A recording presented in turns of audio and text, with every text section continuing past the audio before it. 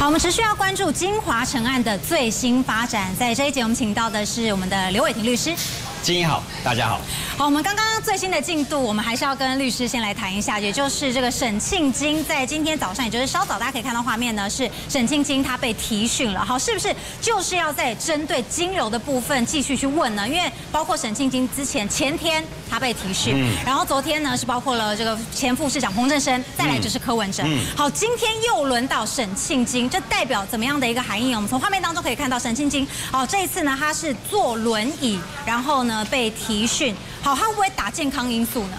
哎，打健康因素倒不是本案的重点，我要跟各位观众来做说明哦。礼拜一问了沈庆清，昨天下午问了柯文哲，就是因为。沈庆清的笔录可能跟柯文哲有关，所以昨天下午问了柯文哲，柯文哲或许又提供了一个说法，所以检察官今天早上又要问沈庆金，所以你会看到沈庆金跟经理有有关，而且跟他，例如说到底这些微金集团实际上怎么交办对价关系是什么，都跟沈庆清有关。另外我也说明啊，这种贪污案件，沈庆清是主要出钱的金主，所以对检察官来讲，沈晶晶来突破的话，几乎整个案情就明朗了。另外呢，沈晶晶因为身体的因素，其实她也很想。出来，就沈庆金部分有没有可能变成污点证人？这个也是检方极力突破的地方。只要这个沈庆金愿意担任污点证人，其实全案大概就非常明朗了。所以他是一个关键的一个人物。对，非常关键，而且在这个时间点更是关键。如果沈庆金一旦被问完，后面很可能再问柯文哲，或者是问殷小薇，因为都直接跟金流有关。沈庆金到底他这些旗下的公司钱到底怎么最后到柯文哲手上？这都是检方最主要要问的一个重点。所以，如果沈庆金可以坦白、可以说明的话，那其实这个案件大概就非常清楚，而且会变成一个很有力的证据，对于检方来讲会是一个强心针。而且昨天提讯了柯文哲三个多小时，因为他一点到。然后五点的时候，那么才离开，才离开嘛。那会不会是昨天柯文哲他的供词又和沈静晶又有点都不拢的地方，所以要再问一次沈静晶？对，肯定是如此。你看嘛，礼拜已经问了沈静晶，说实在，我不用这么密集的传唤他，是因为有什么新事件又跑出来，导致检察官必须再传沈静晶，就是因为跟柯文哲的证词有关，用来比对两个人。如果两个人说法不一样，检察官只好再来厘清。所以今天早上又传唤沈静晶，那显然就金流这一部分，或针对行贿收贿的。对价这一块，显然在案情上面是有一些发展的。好，我们就要提到金流，因为我们早上这最新的周刊又报道说，好，陈佩琪他去存 ATM 嘛，第一个是他两个的关键时间点，包括说在这个呃便当会后，这是。然后并集存了大概一百五十多万元，再来是确定金华城拿到容积率百分之八百四之后，又存了四百多万元。好，而且这六百多万是分六十次去存，密集的存，以及他的这个金额还有存的账户是包括他和三名子女的账户。好，周刊说这样可能会涉及洗钱，律师。好，当然我们不知道到底周刊报的是对或是错，或真或假。但是如果假设周刊写的是真的的话，我们首先来看。第一个，我们用现金存款这件事已经很匪夷所思，再加上他们的身份，再加上这个存款的金额，如果今天只是三千、五千、一万、两万，或许还说得过去，但是最后存的结果高达六百多万，而且是一个密集性、短时间。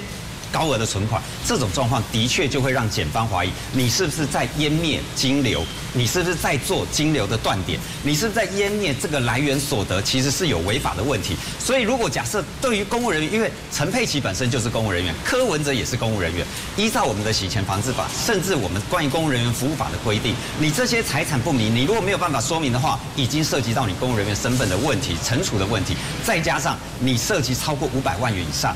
来源金流不明，或甚至有违法的钱来做一个洗钱的话，甚至会磕到六个月以上五年以下的有期徒刑。所以他刚好本来传出是一百多万，这一次来到六百万，就突破了那五百万的一个门槛。没错，其实这倒不是直接有关于这个到底门槛多少，而是你的来源不明，就会让人家怀疑是不是有行贿收贿，或者是有非法所得这些钱的来源。所以当然陈佩琪得必须解释，为什么你平常。真的可以去银行存款，即便你说哦我是名人不帮，你也可以请别人存款。那为什么你要亲自做？而且这个亲自做还是去 ATM 存这么高的金额？那当然会让大众或者是一般人或或检察官会怀疑你这个钱到底有没有问题。可是大众也会问说，有这么傻吗？我要存账户，我就存到我陈佩琪还有三名子女的账户，这样不是很容易就被查到了吗？对，的确是啊。当然我们也是觉得有高度的怀疑，包括说之前讲什么一千五啊，柯文哲自己记账记了好像有收贿一千五，包括。这个陈佩琪说实在，如果要收贿，收五六百万金额好像也不是太高，再加上用现金存款又本人去存，也让人家怀疑说有这么傻吗？你不会？如果假设真的我们讲说真的要收贿的话，通常透过别人怎么会自己去做这件事呢？所以到底这个存款是不是真的跟行贿收贿有关？当然还有待检方继续查证。那现在您律师你怎么看？检方他现在要主打的就是这个金流的部分嘛？因为在图利罪的部分，是不是看起来哎能查到的就大概这些？而且图利罪在于检辩双方，他们其实有很多可以去诠释解释的空间。你说他图利，他或许可以说我是图全民之利，有很多攻防可以去进行的地方。但是查金流，如果查到了，比较可以说是一翻两瞪。没错，就我们在贪污治罪条例里面。不管你今天合不合法的给这个金华城容积奖励百分额外百分之二十，你只要收钱。就算是合法给人家容积奖励百分之二十，也是违反贪污治罪条还是收贿罪。只是如果不应该给而给，那就加重，就是违违背他的职务来做收贿，十年以上有期徒刑，所以都很重的。那对检方来讲，单办图利罪其实是不好办的，主要原因是因为图利行政机关有很多解释的空间。我是市长，我为了都市的繁荣，所以我给他额外的奖励二十 percent，让那个松山区变繁荣，他很容易去做解释。所以对检方来讲，如果有收贿，你就没有什么好解释，即便你合法的给。他容积奖励一样，通通是要处罚的，而且对柯文哲本身哦，号称清廉这个人品的这个形象也会有重大伤害。所以对检方来讲，查金流、查对价关系、查收贿这件事才是主要目的。所以我们也看到检方今天又传讯了沈庆基，就是一直在针对金流的部分。我在猜想后面应该也还是会传唤陈佩琪，因为陈佩琪也确实处理到了很多现金的部分。所以到底这个现金的来源有没有什么违法的地方，甚至有没有像周刊报道到说，哎，他甚至拿。拿到了很多选民的这个竞选经费，拿去存在自己或者是子女的账户，这个都是很匪夷所思的事情，所以也都有待检方来好好去做理清。好，我们就讲到这个公词的部分，因为周刊还有报道说陈佩琪四度反拱，因为问他钱从哪里来嘛，你就要去解释。他说包括了这个是柯文哲的钱啊，柯文哲的选举经费等等。好，不管如何，那么稍待会在北检有最新的状况，会再随时为您做掌握。把时间先交给彭内。好，直播观众，今天呢是民众党主席柯文哲被羁押进监的第七天了，而他的妻子陈佩琪呢，一早又被爆出说，透过这个 ATM 进行所谓小额理财超过六十次，而且这个金额呢是高达六百一十九万多元。根据《金周刊》报道呢，其实陈佩琪在存这些钱的时间点都非常令人质疑，因为呢，陈佩琪第一阶段密集存款的时间点是落在二零二零年的三月十号，也就是柯文哲与应小薇进行第一次便当会的当天。在这一个月内呢，陈佩琪其实就透过 ATM 存了一百五十七万多元，而且是分别存进自己和三个儿女的账户里。不过第二阶段呢，陈佩琪存的时间点就更让人质疑，因为他在第二阶段密集存款的时间是落在金华城百分之八百四十容积率确定之后，这段时间呢，陈佩琪陈佩琪是存了四百六十多万。因此呢，简联就很好奇，说到底这些钱的金流来源是哪里？但根据呢，其实陈佩琪在应讯时的说法。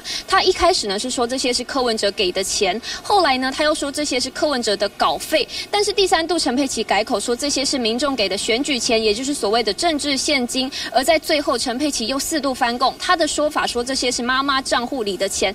因此呢，简联就对于这些陈佩琪交代不清的金流来源感到非常的质疑哦。而其实今天一早呢，陈佩琪也同样是没有现身。不过呢，有最新状况，东森新闻都会持续为您掌握。以上呢是现场最新消息，我们先把时间交还。棚内。好，持续来带您关心金华城案目前的最新状况。我们目前知道是昨天下午的时候，是民众党党主席柯文哲他首度被提讯，这是他被收押之后的第六天，首度的被拉叫出来提讯。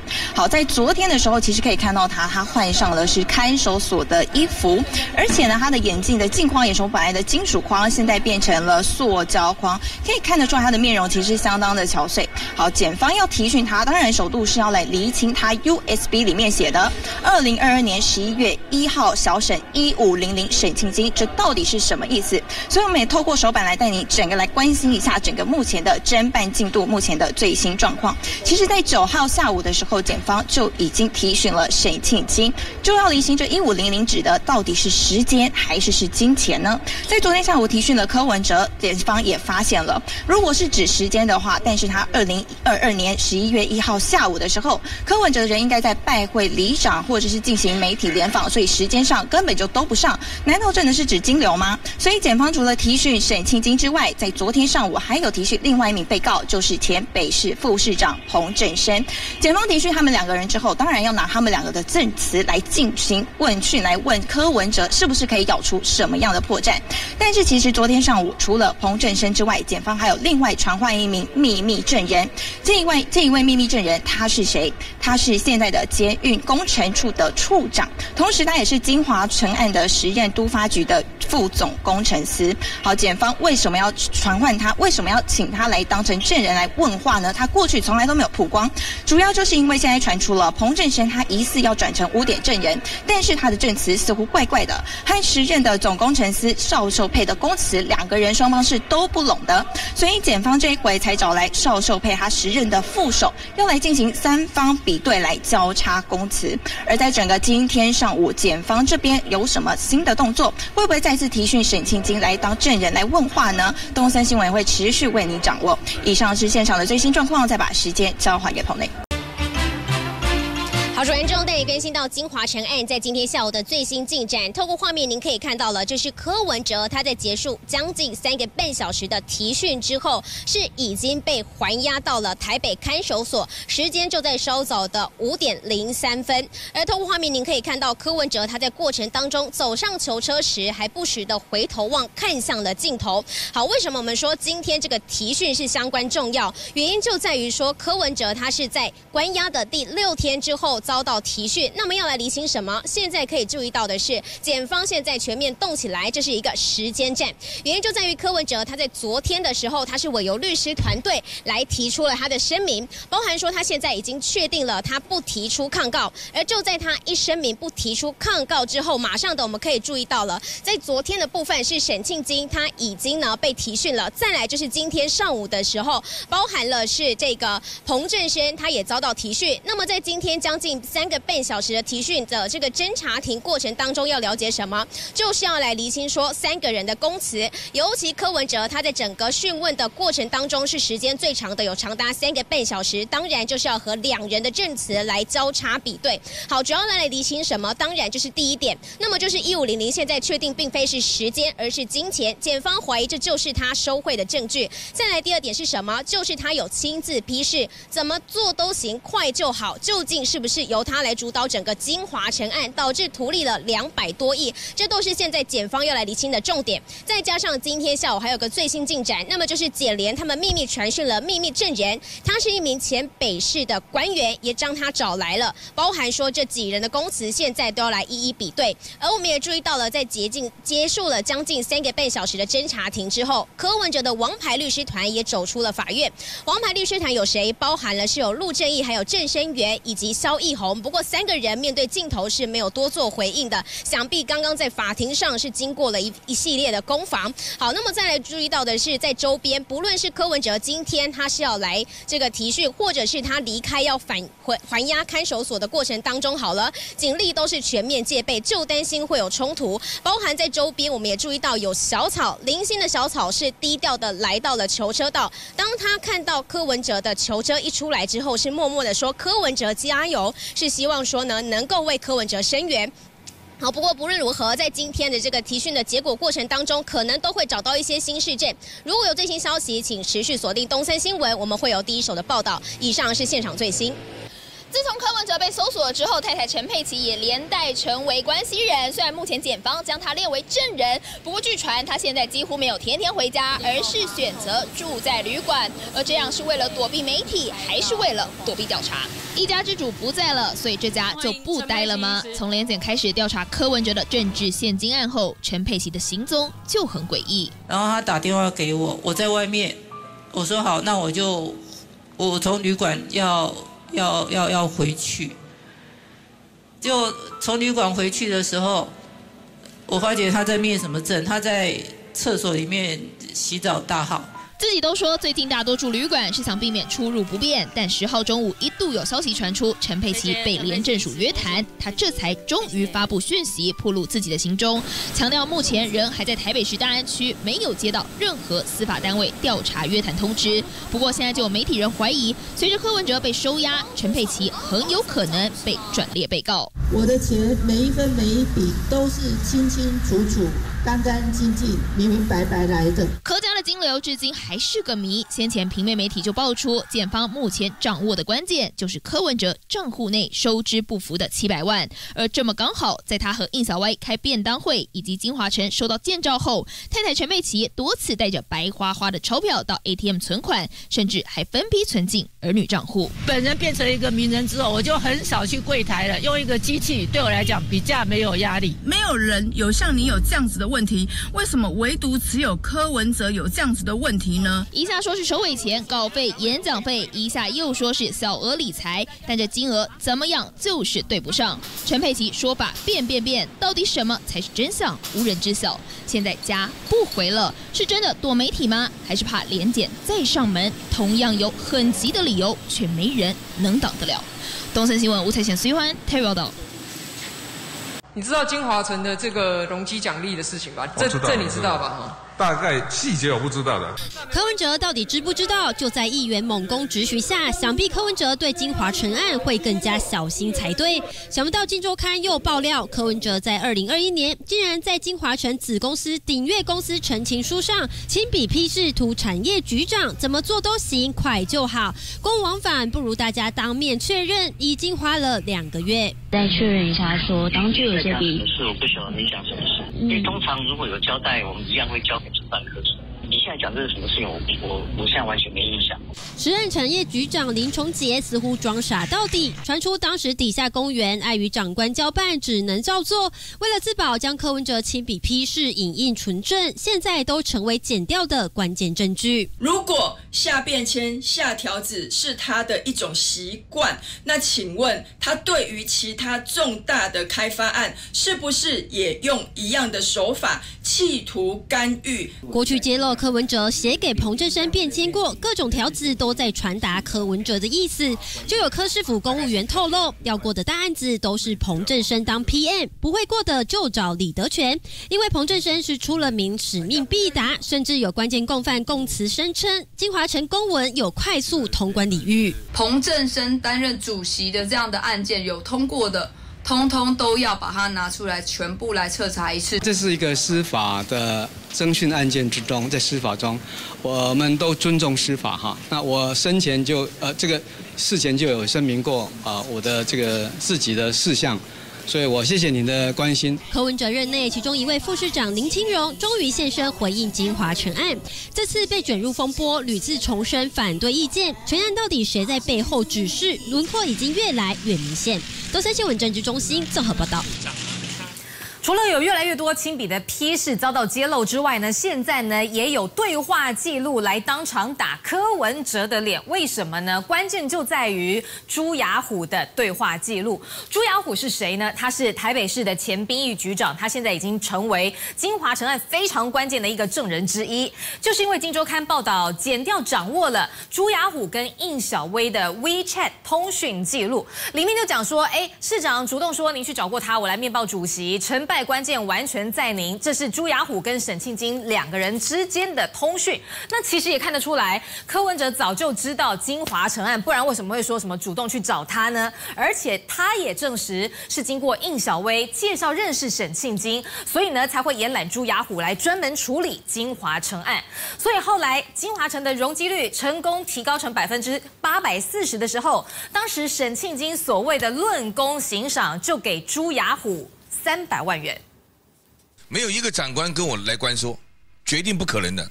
台北市前兵役局长朱雅虎卸下公职后，曾转任微金集团旗下鼎悦公司董事长。三十一号柯文哲家庭召开前，剪掉为了金华城案密讯他，就是因为疑似在监听译文中听到朱雅虎和应小薇说：“我有向主席报告，这时朱英二人想联手促成金华城容积案。”间接代表柯文哲口口声声表示不知情，似乎是一派胡言。如今，《镜周刊》在爆料朱雅虎与应小薇的微信对话记录显示，二零二零年三月十二日，朱雅虎告诉应小薇，市长主动说您去找过他，我回来面报主席，成败关键完全在您。而且隔天，朱雅虎又告诉应小薇，彭副市长请您鼎力协助。可见柯文哲早在当年三月十二号之前就已得知此事。而在高院撤销裁定书中，多次出现朱亚虎的名字，成为关键证人。朱亚虎坦诚是经过应小薇介绍认识沈庆金，沈庆金给他年薪三百万，专门处理金华城案。当年金华城容积率提高到百分之八百四十后，还犒赏了他三百万元奖金。朱雅虎是一个非常关键的人物，因为他跟所有的官员都熟，而且他抚慰关系也很好，他跟议员关系也很好，所以呢，他从中斡旋的这个几率是非常高的。不完全了解建筑，甚至都市计划法他都不了解，为什么他要当董事长？检方怀疑朱雅虎就是柯批与小沈之间抓出金流的那条线，背后也可能涉及四千三百万双办，到底是不是金华城案的后线？因此，检方能否突破朱雅虎，让柯文哲的不明金流变回公开透明？各界都在等着看。都市新闻政治中心综合报道。连朱雅虎都拿到了三百万元奖金，现在呢，柯文哲到底有没有拿钱？现在呢，也是检方要调查的重点。那有可能不是他自己拿钱，而是木可公司拿钱吗？柯文哲可能都会告诉大家说，木可公司是一家独立的公司，跟他没有关系。而且他也曾经在记者会上讲说，这木可的账目除了财务长李文忠之外，其他人都没看过。好像呢，对于木可什么都不知道。当然不是这样，因为呢，光是从李文娟的 line 看得出。出来，他们中间呢不但有非常多的金流，而且呢柯文哲明明就知情。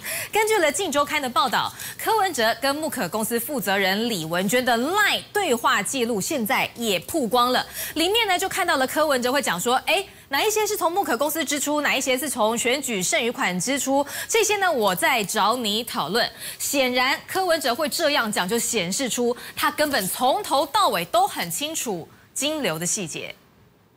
整本账簿你知道吗？除了李文忠财务部以外，我们我们其他人都没看过。因为我就想说，就就相信他去处理嘛。又是不知情，全推给他人。柯文哲对木可金流真的如他所说吗？根据《镜周刊》报道，柯文哲与木可公司负责人李文娟 LINE 对话记录，柯曾询问某知名媒体大亨的一百万元处理进度，某知名食品厂负责人五十万元到新故乡的账户，哪一些从木可公司支出，哪一些从选举剩余款支出，这些我在找你讨论。我认为李文娟只是呃这个。木可公司的办事员，也就只是帮这个柯文哲处理财务的。那我必须要讲哦，柯文哲从这个上个月八月六号开始，每一天都说谎。对话中，柯文哲还要求李文娟两个月内告诉他关于众望木可和新故乡基金会有多少钱可以用。法官因此认定柯文哲对他所掌握的相关账户金流与支配都巨细靡遗的掌控，而非他之前所称的不知情。那我认为柯文哲恐怕是一个。拉得慢，但是在处理精华城事情就快就好的男人，所以在这个慢慢跟快快的掌握之间呐，我想柯文哲啊，哦，是不是啊？对于市民哦，都有大小眼的状态。自己高举道德大旗就算，他又常常去检验其他政党，又整天跟人家比烂，那个老实讲，那就是一个 精神错乱了。柯文哲过去建立的高道德标准人设，如今却成为弊案被告。尤其选举补助款七千三百万元，以及木可肖像权四百万，都还说不清楚。这一些的金流到底有没有勾稽到金华城，目前是不清楚。有没有可能跟这个所谓呃？PG 车手陈佩琪有关啊，我想这是陈佩琪自己要去面对的。柯文哲烂账风暴没有因为积压进谏而跟着停歇。东森新闻综合报道。观众朋友，在北检的最新画面持续要带您掌握。就在稍早几分钟之前，五点零三分的时候，这个前民众党的党主席柯文哲已经被还押，而且被带上了囚车。不可以看得出来，对比呢，在提讯三个半小时左右，其实他在稍早进去之前，人是有戴上口罩的。但是在刚刚五点零三分正式被带出来的时候，人是没有戴上口罩。到底呢，这三个半小时里面问了什么样的讯息呢？我们刚刚也掌握到了，其实大约在四点半。的时候，柯文哲的三位律师已经步出了法院，但是对于媒体的询问，他们有没有更新一步的？回应。我们稍后将会有来自现场的最新连线。哦，没有错，在今天的司法攻防上面，大家都认为就是柯文哲他被提讯了，尤其在这个包括沈正呃彭正神，包括了沈庆金，陆陆续续被提讯之后，今天就换了柯文哲，大家有太多的问题想要问。第一个问题是为什么这时候来提柯文哲？好，第二个问题是好，柯文哲是不是完全 all in 把律师全部都找来呢？针对这些诸多疑问，我们今天特别邀请到的是我们律师刘伟霆，伟霆哥你好，早上好，大家好。好，吴廷哥，我们一个一个来。我刚刚讲 all in 这个字眼，好，因为今天大家以为想说律师应该只会来一位，但是陆陆续续包括柯文哲委任律师全部都来了，这对于柯文哲来说是一个 all in 嘛，或是这个是柯文哲跟检察官的。提讯第一站，如果今天检察官提问什么，每一个律师的专业他都能够回答，能够回答的情况之下，才能够反击检察官吗？好，我觉得大家可能对于很律师这件事有点误会。我跟大家讲，一般律师、法官或检察官会是在开庭前一个礼拜或甚至更长的时间发通知的，但是这个侦查程序是临时的，也就是律师这时间可能在别个地方都有庭要开，但因为临时被通知柯文哲案，所以三位律师非常重视柯文哲先生，所以一定。要到庭，可能把别的工作、别的案件都先放在旁边，或请别人来代劳，而亲自来开柯文哲案。但是我跟各位强调，开柯文哲案并不是律师可以站边跟检察官一直互动的，并不是，因为检察官在侦查阶段主要是问柯文哲相关的案件事实。这个东西你有没有看过？这东西人家这样讲，你怎么回答？律师呢就坐在旁边，坐在后面，主要的功能是什么？防止检察官刑求逼供，包括说，哎。你如果都没有律师在，检察官有没有说，哎，那个我跟你讲，沈庆金都讲了，都说是你哦。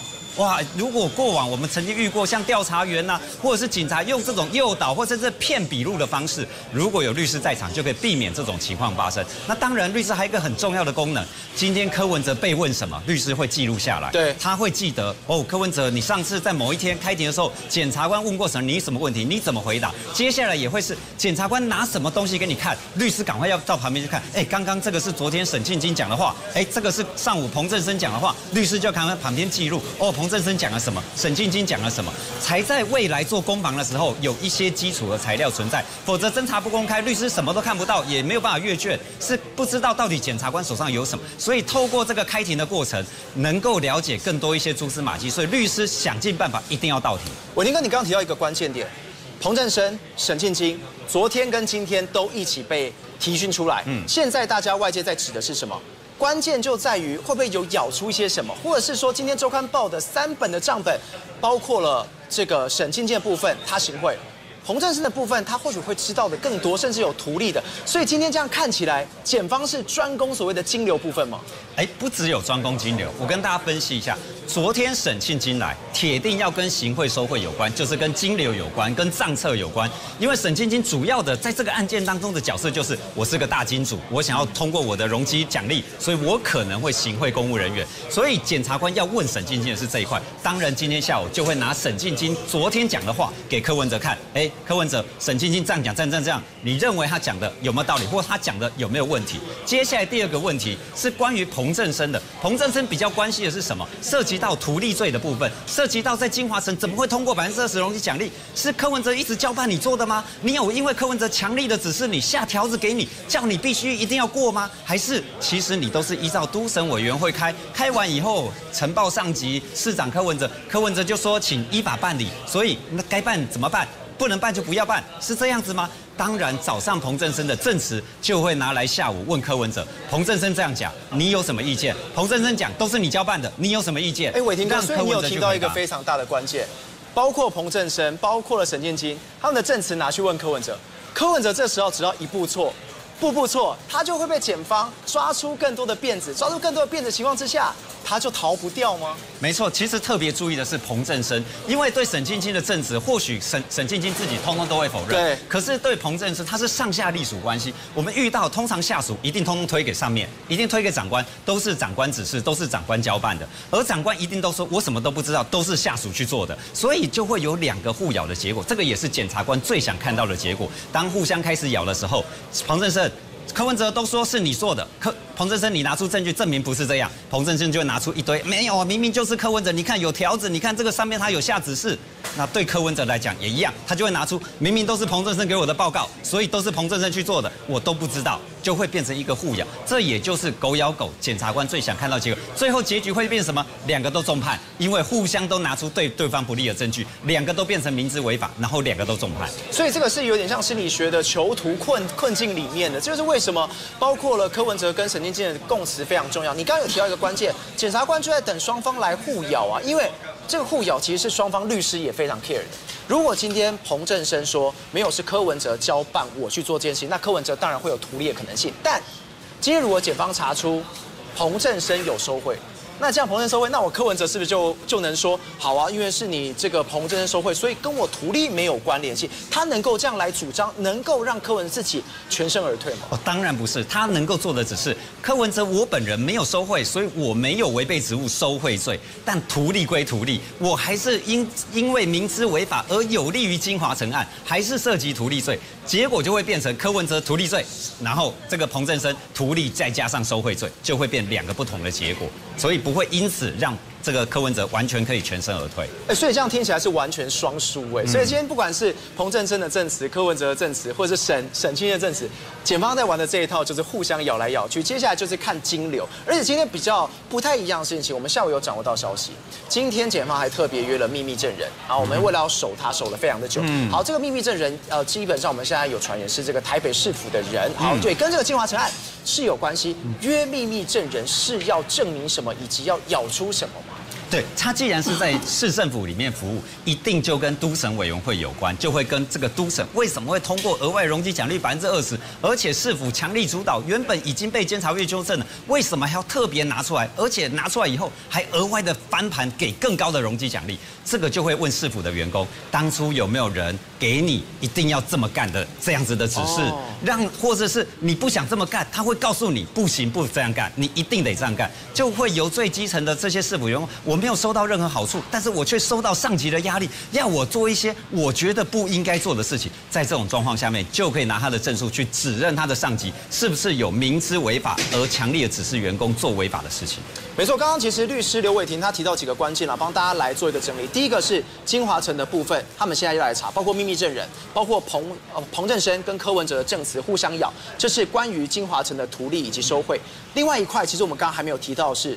最关键的木可金流，嗯哼木可金流为什么最近大家一直在 focus 在这个上面？因为这是被形容是柯文哲的小金库、小账户，而且周刊也直指了，现在检方各个的方向都往这边来查。如果相关的呃金流都流到这个地方，柯文哲他还有办法来做一个辩解吗？好，我跟大家说明哦，柯文哲有三个地方可能可以收到钱。第一个，政治现金专户；第二个，他的基金会；最后一个是木可。前面这两个都被高度的监管，所以要钱进去可以合法的啊，那也用在正确的用途。但是木可公司为什么大家说它小金库？因为是一个私人公司，它钱要怎么用，没有人管。所以我们不管是任何人，包括检察官或律师，我们都可以想象，钱进木可是柯文哲在弹性运用他钱最好的方法。所以。我们的魔鬼一定藏在木壳里。好，魔鬼既然藏在木壳里，我们要就是要去查了。有任何从木壳的钱进到柯文哲，包括他的家族、小孩、太太、自己，甚至他的父母亲。或他的姐妹，只要有这些钱进到他的亲人账户里面，我们就会高度关注。那包括前阵子查到一笔柯文哲有收到木可四百万的肖像授权费，类似这样的钱，通通都是现在检方关高度关注。再来，我们跟各位强调，如果我是沈晶晶，我是一个企业主，我会不会去支持各个政政治人物？会，不止柯文哲，我可能也支持很多人。对，那针对柯文哲的部分，我去支持他，有没有在时间上有一些关联性？例如说，我平常每年我都给这些政治人物一个人两百，一个人三百，但是过了金华城案，我突然给了他三千。假设，而且我都是合法的，我透过政治现金，我透过基金会，我捐助。光这些也会让检方觉得，为什么你要突然之间增高你的捐赠金额？这个就会让沈晶晶去做说明。更何况，如果假设正好遇到竞选期间，我们看到，哎，怎么会有很多匿名的人啊，用个人的名义，一个人给了九万九千九百九十九啊，而这些人刚好一查，哇，好像都是微金集团的员工。如果发生类似这样的事情，也会让人高度的怀疑，是不是你们有达成某一种协议，在某些状况下需要钱的时候，你就会大力的去支持，让他的选举。更顺利。在这种状况，就有可能被检方认为是不是有行贿跟收贿的问题了。好，没错，刚刚律师讲了就几个重点。第一个，金华城的东西，图利跟收贿，他们两个互相咬出来。第二个是木可金流到底有没有转到柯文哲私人账户？有些钱可是要讲明白。还有沈庆金，他如果每次都做政治现金的话，突如其来的金额也会让检方觉得很奇怪，会不会有收贿的可能呢？好，今天以上是我们今天的律师的分享，谢谢伟霆哥，谢谢，谢谢大家。那以上是我们的最新情况，把时间镜头还给棚内主播。好，主播各观众带您持续来关心金华城的案件。我们现在人就在台北地检署，现在在稍早下午一点十六分左右呢，囚车抵达北检，而从囚车。上来下来的人呢，其实就是民众党主席，也就是前台北市市长柯文哲。您可以看到呢，他是身穿北所黄色的制服，双手背上铐，并且呢是穿着这个蓝白拖来到这个地检署。因为今天下午呢，北检是首度传唤柯文哲要来厘清所有的事情。那么其实呢，我们也可以知道是今天上午呢，北检的动作就已经频频了，因为他先传唤了前台北市副市长彭振生来进行讯问哦。那么在讯问两个小时。然后结束之后呢，紧接着下午就换借题柯文哲来到北所来进行厘清。那其实他们两个人呢都是涉犯同一个罪名，遭到羁押禁见，也就是这个贪污治罪条例的这个图利罪嫌。他们两个呢，因为呢这个犯嫌是重大，然后又不排除说可能会有灭证、串证、逃亡之余，所以呢是遭到羁押禁见的。那么他们两个呢，在今天都是首度遭到北检来进行借题，要来厘清整个事情。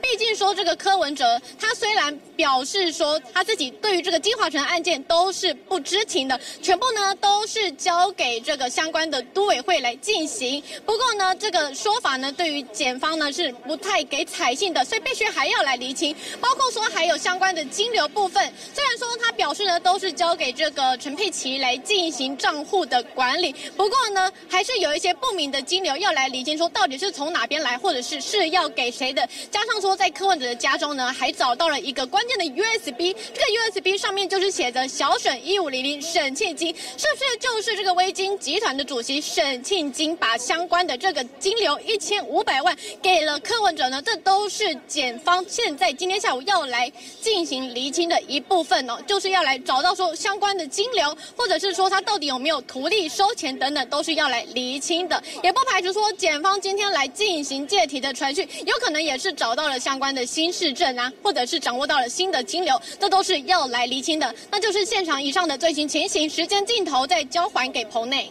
传播最消息，北检持续追金华城的案件，而就在今天，柯文哲遭到收押第六天，目前审出来，下午呢将借题柯文哲来厘清相关金华城的案情。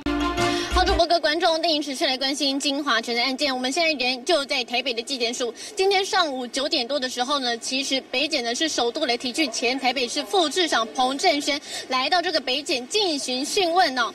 其实呢，因为他在这个月二号的时候呢是涉犯贪污图利的这个罪嫌呢是遭到羁押禁见的。那么呢，其实我们也可以看到，他是走在整个队伍的最后。最后面，那是由法警呢来到。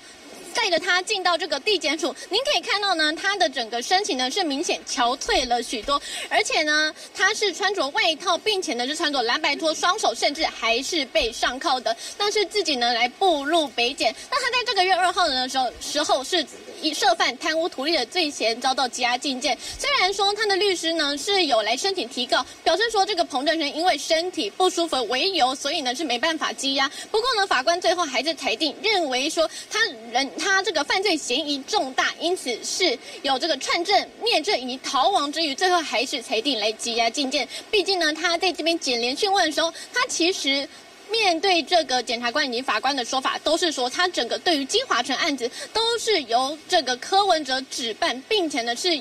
他只是负责听从来做这个事情，并没有任何贪污图利的可能性。不过呢，法官是不这么认为，最后裁定羁押定见。那么他其实从这个月九号的时候被羁押，来到今天已经在看守所度过了八天，首度呢是遭到检方来进行提讯的。那么其实我们也能知道说，昨天检察官已经先提讯了这个沈庆金，今天呢上午又马上来借提这个彭振生，不排除检方可能有掌握到新的重大证据或者市政，所以必须要来厘清。那么以上就是现场的最新情形，时间镜头再交还给棚内。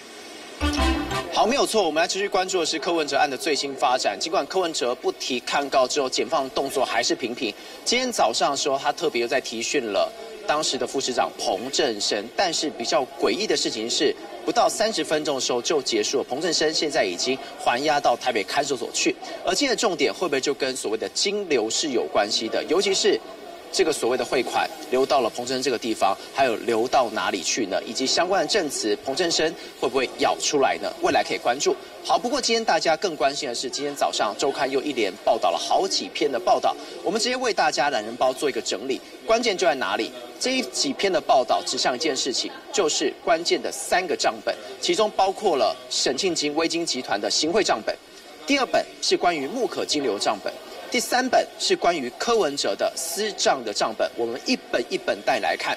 其中第一本是沈庆金的账本，里面有写到，他说，呃，这个微金集团他总共编了两次的公关费，总共金额四点三亿元。目前有抓到金流是应小薇的金流，这应小薇的金流里面总共有四千五百万，他分别是用八家公司的名义汇到应小薇下面的四家基金会，用洗钱的方式，最后应小薇拿到四千五百万，但另外一个关键，一千五百万呢？